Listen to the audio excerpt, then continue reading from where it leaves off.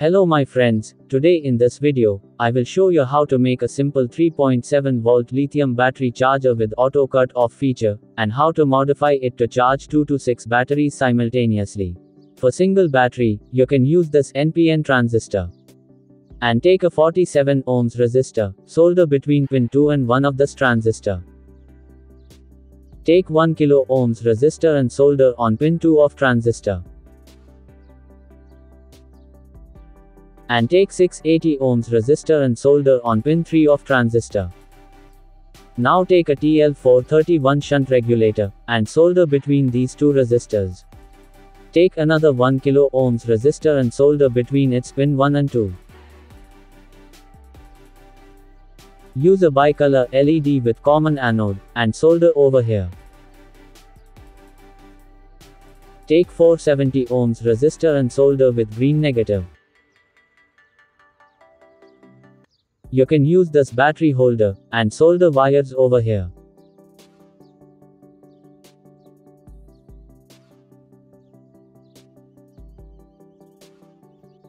I used USB cable for input DC.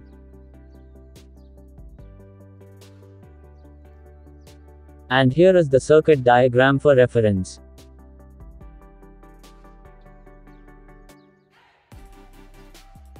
Use mobile charger, and plug into the AC outlet.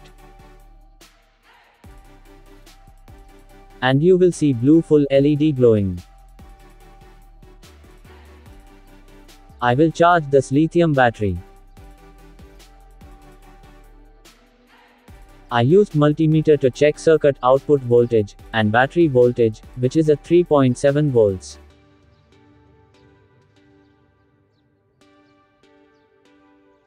As you can see, it automatically detects the battery and shows charging status.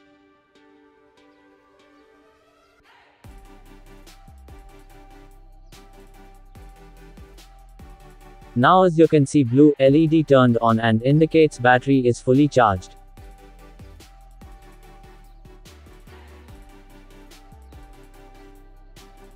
Now let's check with multimeter.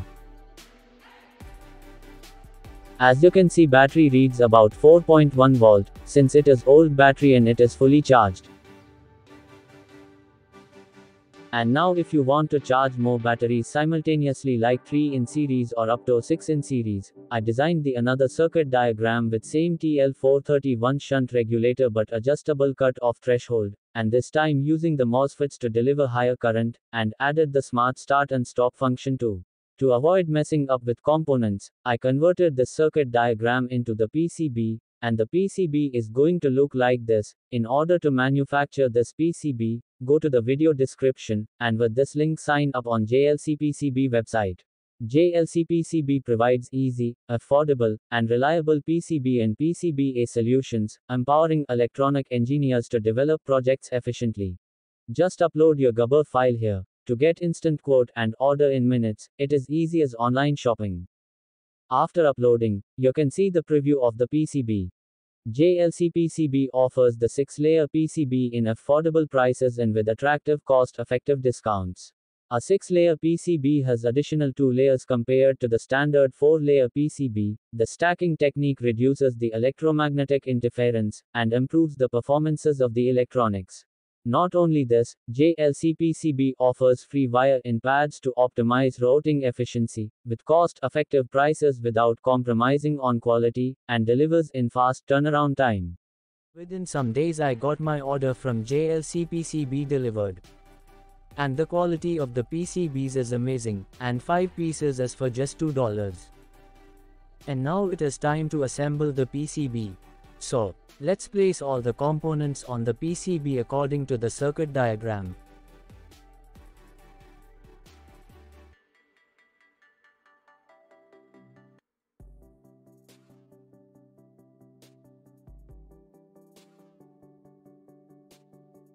And after spending some time with the soldering process, I cleaned the PCB with isopropyl alcohol. And here our PCB is looking nice and clean.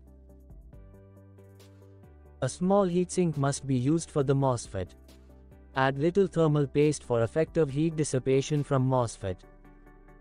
And screw heatsink at its place. I just used cardboard piece for the setup. And placed this charger circuit and also the 3S battery holder. I first will charge these used 18650 cells from old laptop battery. Connect the wires at DC input connector. Now connect the DC supply of 12.8 volts.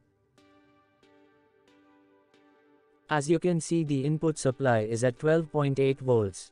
And the output is exact 12.6 volts required for 3 batteries charging as 4.2 volts required for each battery. Before connecting the battery to output, adjust this potentiometer till green LED turns on to set cutoff at 12.8 volts. Now connect the battery at output connector.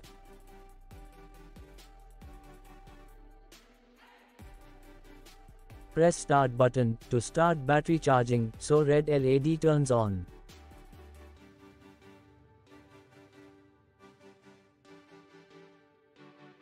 As you can see the battery is fully charged, so if we press start charge, it will not allow it to charge as battery is fully charged as per its capacity.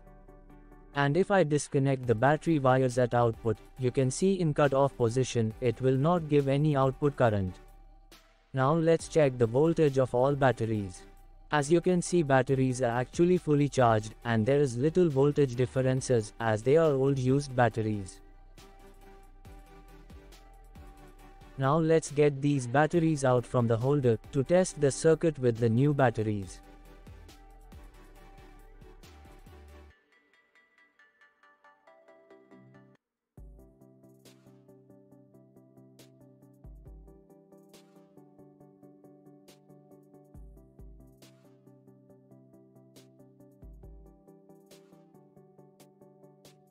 As you can see the batteries are fully charged and charging is cut off. Now let's check the voltage of all batteries.